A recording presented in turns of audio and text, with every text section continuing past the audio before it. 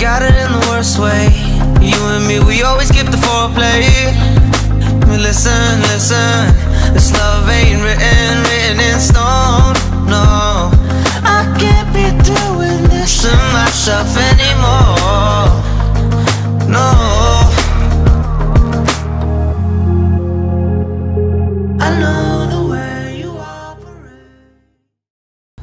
Well, it's a glorious spring day and I'm here on my little Cambridgeshire water. It's around five to six acres in size, um, very, very weedy, lots of little clear spots and everything in there as well. And I'm here for the night with Alex to see if we can bag one live for the camera. It's looking really good. It's really warm today. It's going to creep up to sort of 12, 13 degrees. And uh, I was here last week and I managed to catch a couple. They were on the move, so I'm pretty confident. I've got a couple of spots out there baited up from yesterday. I came down in some driving rain and wind yesterday, trickled a little bit of bait in, so I'm feeling pretty confident. I've, uh, I've rigged up with a little choddy. Um, I'm fishing over some very, very light weed. So I'm going to present this little choddy over the top. That's complete with an acid pear, bright orange one. See if I can catch their attention in the daytime. So I'm going to get this out now and uh, hopefully we'll nab one.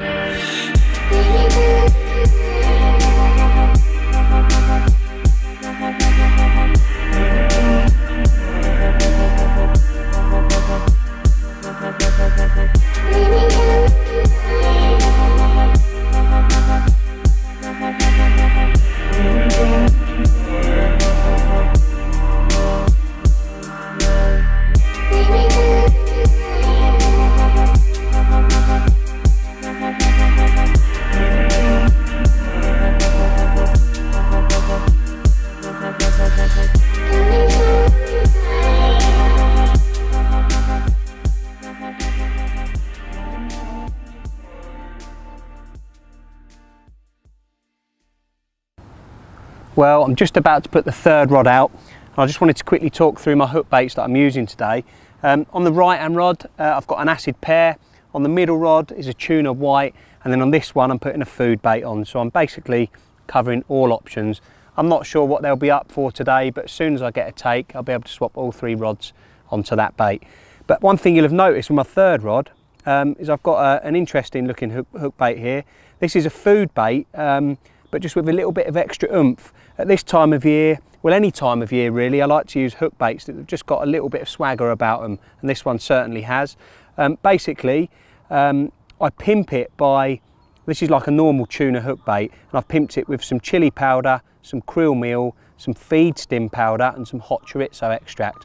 And basically what that does is after, uh, after a period of say a week or two weeks whilst everything's dried on, it gives it like an outer skin um, and that skin actually stays on the bait, um, doesn't just wash off in the water um, like, like a, maybe a normal dip or something might do. It actually clings to the bait and to prolong that even further, I wrap it in tights as well. And this can be out there for anything up to, to 12, even 20 hours I've had it and I've reeled it back in and that skin is still on the, on the boilie. Um, this can be done on bottom baits, corkball pop-ups. This is a corkball pop-up and it just gives it a little bit more. It smells absolutely beautiful and as I say you can leave it in the water a lot longer than when you just glug a normal bait. It will still be oozing attraction and quite often this will be the first hook baits that's taken. So that's it, a little pimped food bait and uh, I'm going to get it out now and hopefully it'll be work, working as it normally does. I'm going to chuck it out now.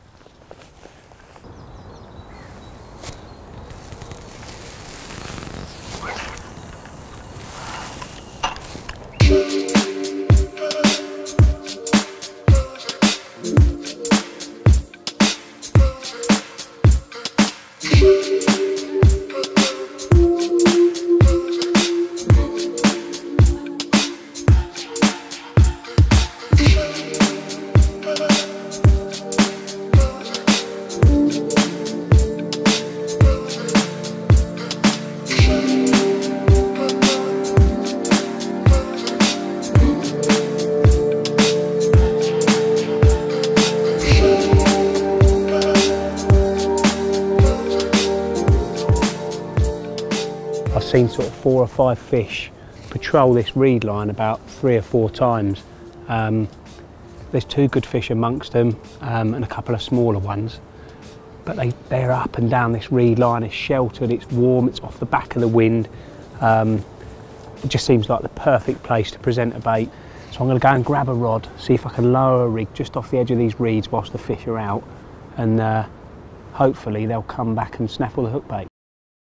Well, this might look a bit crazy, but I've literally just whipped off the choddy. I've got some fluorocarbon line as a leader anyway. I've just tied a size 4 hook on the end because I'm going to free line some of my sandwiches. it might sound a little bit mental, that the fish are coming in so close to the reeds that I've got a funny feeling if I can flick it in front of their nose that one might snaffle it. So my little sandwiches that I'd primed with butter and ketchup for my bacon sandwiches are now being used as bait. And I'm not sure whether it's going to work, but you never know. So I'm hooking a bit of bread on and I'm just going to squeeze it to the eye of the hook nice and tight and I'm just going to leave the shank sorry the point even showing out the side of the bread a little bit Heath Robinson but uh, you never know do you right. All primed and ready. Let's have a little go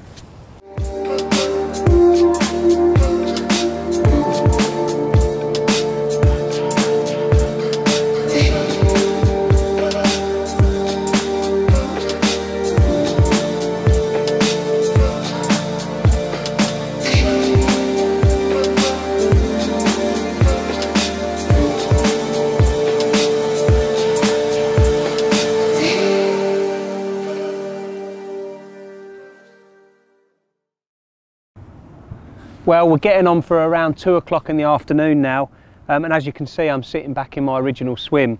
Uh, I gave it, I don't know, about an hour down in those reeds, and uh, I did actually get really, really close. I was, uh, I was obviously freelining a little bit of bread, and um, I managed to creep behind one of these reeds, and there was quite a sizable common sitting there.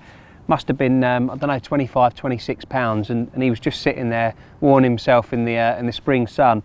And uh, I managed to lower a little bit of bread right in front of his nose, and as it sort of touched bottom he sort of flared his, uh, his fins a little bit, went towards it. he must have just caught a little bit of line or something, but something spooked him. And uh, as soon as he touched that line, he was off. And uh, I felt like that was chance blown, really. We didn't see another fish in there. So uh, I reeled that back in, had another little wander around the lake, and the winds picked up a lot. And uh, that sort of warm spring sunshine that, uh, that we had earlier in the sheltered bay has just kind of gone, really. So um, it's got a bit choppy and uh, it's looking really good in open water. So I've got the left hand rod back out and uh, yeah, we're rocking. So got to see what happens for the rest of the afternoon. I'm going to sit on the rods now for a bit and um, keep fingers crossed.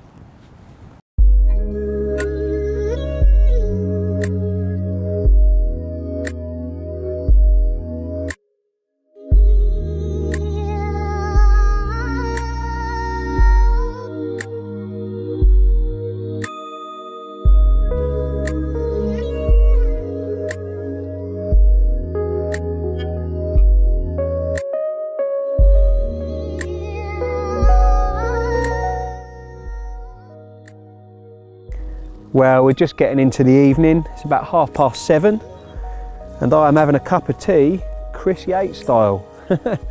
As you can see, I've got the old Kelly kettle going and it was roaring, although it's providing, proving even, to be a little trickier than I thought. These sticks are a little bit damp, so uh, it's not as easy.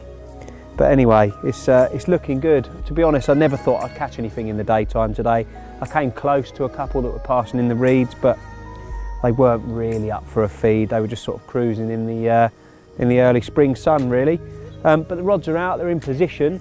I think I'm at the right end. I stood up, up the far end for an hour or so earlier and didn't see anything.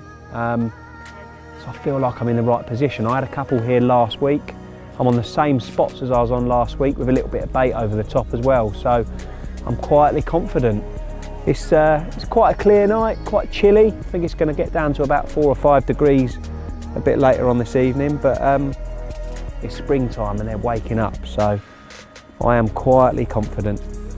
Anyway, I'm going to uh, continue putting my sticks in the Kelly kettle to try and get it roaring, I don't know how Yatesy did it, but uh, he did it far better than I am. Um, so yeah, I'm going to leave you to it. Hopefully, I'm going to catch something tonight and I'll have a, uh, a nice whacker to show you in the morning. Right, come on Kelly Kettle.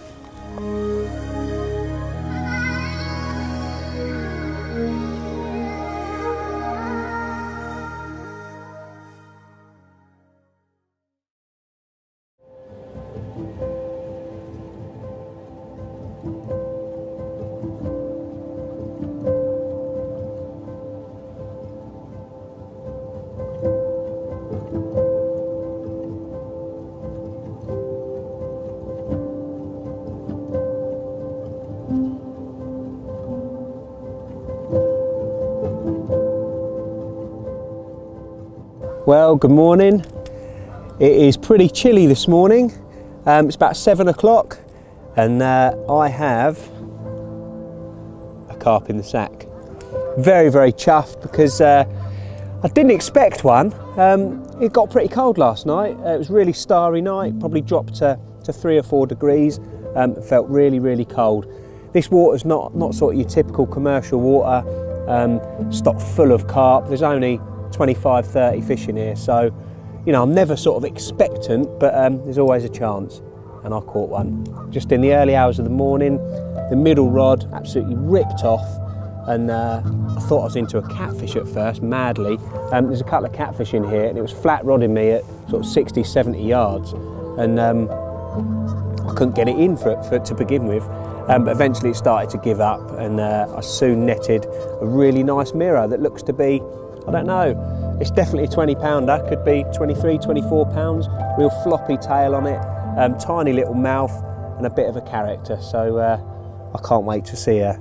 Let's go and have a look.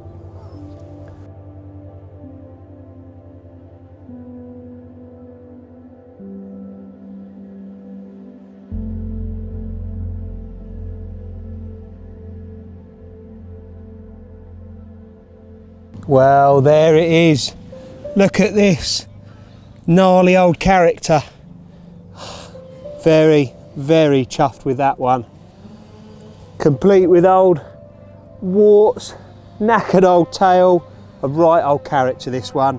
Must be, I don't know, low 20s, um, but I am over the moon. We're at the beginning of spring, there's a little bit of warmth in the air and they're starting to get active. So I am very happy with that.